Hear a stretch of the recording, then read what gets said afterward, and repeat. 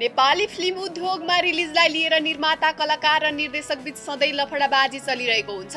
तर आजबाट रिलिज हुन लागेको छक्का पन्जा चार र छड्के दुईको रिलिजमा भने फरक दृश्य देखिएको छ। छक्का पन्जा चार र छड्के दुईका कलाकारले एकअर्कालाई शुभकामना दिएर फिल्म उद्योगमा एकता र सम्मानको सन्देश समेत दिएका छन्।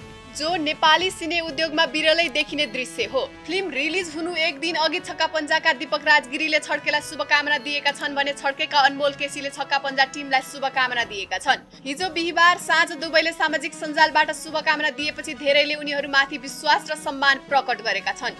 गिरी र अनमोल दुवैले दुवै फिल्मको पोस्टर पनि राखेर एकअर्काप्रति सम्मान प्रकट गरेका छन् र दुवैले एकअर्कालाई शुभकामना समेत दिएका छन्।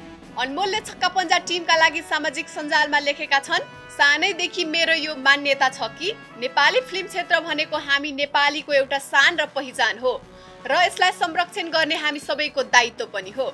साथै भोलिदेखि तपाईँहरू समक्ष प्रदर्शनमा आइरहेका चलचित्रहरू छड्के दुई र आदरणीय दाई दिदीहरूको छक्का पन्जा चारलाई म मेन्डग र हाम्रो टिम छड्के दुईका तर्फबाट शुभकामना व्यक्त गर्न चाहन्छु। हजुरहरूको साथ र आशीर्वाद नै हाम्रो लागि काम गर्ने प्रेरणा र ऊर्जाको स्रोत हो। यस्तै दीपक राज दुई फिल्मको भिडन्तको विषयलाई लिएर सामाजिक सञ्जालमा लेखेका छन् अब हाम्रो हातमा केही छैन। हजुरहरूकै हातमा छ। आज शुक्रबारदेखि छड्के र छक्का पन्जा चार प्रदर्शन हुँदैछ। धेरैले किन जुधेको भनेर पनि सोधे। यो साँडे होइन जुत्नलाई। यो फुटबल खेल पनि होइन। एउटा टिम हार्ने र अर्को टिम जित्ने। यहाँ दुवै टिमले जित्न सक्छ। प्यारो भतिज अनमोल लगायत सम्पूर्ण छड्के टिमलाई शुभकामना। अब भने कतिको दर्शकहरूले यी दुवै चलचित्रलाई साथ दिने हुन्?